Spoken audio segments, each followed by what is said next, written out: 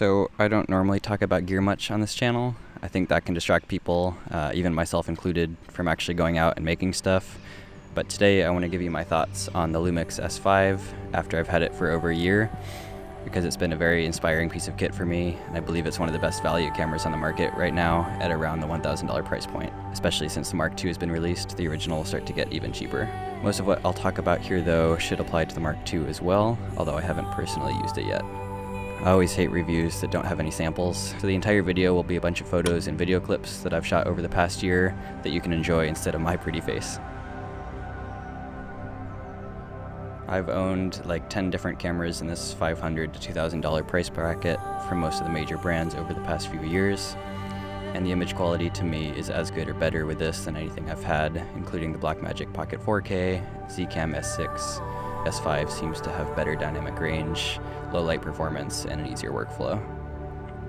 So I think specs don't matter so much if the camera is hard to use for what you need it to do, uh, the Blackmagic, for example, was for me annoying enough to use because of the form factor that I always left it at home unless I really needed it.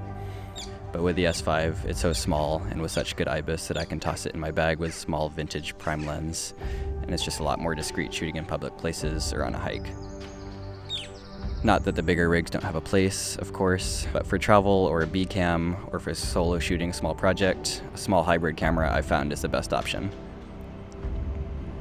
I usually use a color space transform to Arri log, and the colors are amazing, and the flexibility of the 10-bit files are more than I've ever needed. And I believe it can also record 5.9K RAW via the HDMI. The buttons are all in easy and logical places and can even be used with gloves on.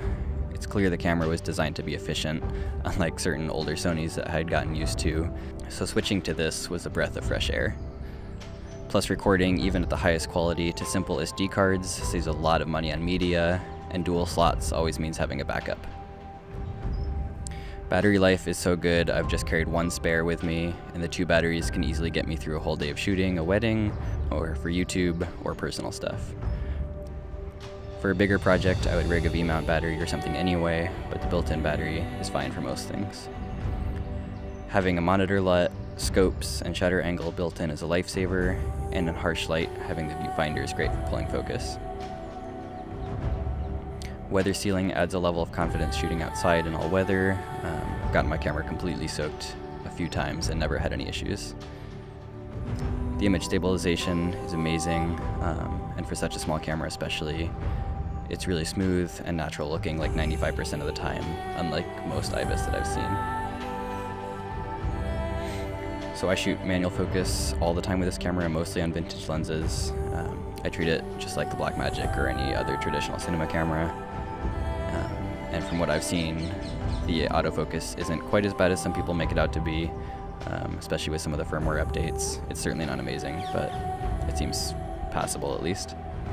Photo quality is also amazing and has been more than enough to print and be happy with. I shoot mainly video professionally, but I love to take photos, so that's another reason I switched from the Blackmagic to this. Being able to do both with one camera without many sacrifices is perfect.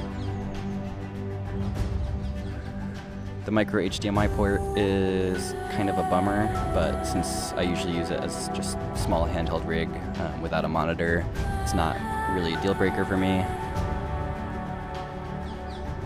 Rolling shutter is pretty bad in full frame mode, um, though a little better in APS-C. Since I shoot a lot of action and handheld, this is the biggest downside for me, um, and it's kind of the one reason keeping me from just using this camera for the next five years, but it hasn't completely stood in my way.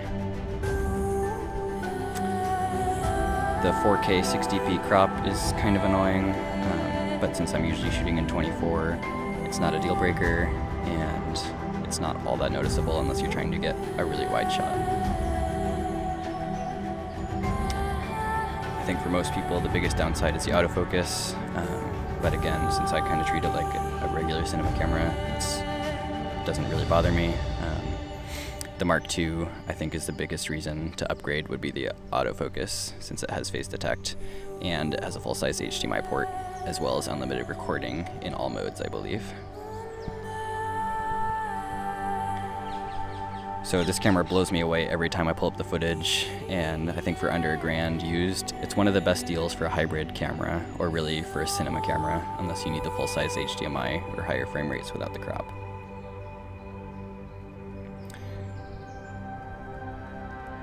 So hopefully this was helpful for some of you. Um, I've loved shooting with this camera for the last year. I don't plan to replace it, at least not completely. Uh, let me know if you have any questions in the comments. I'll try to answer as best I can. Um, thanks so much for watching, and I'll see you next time. Much, bye.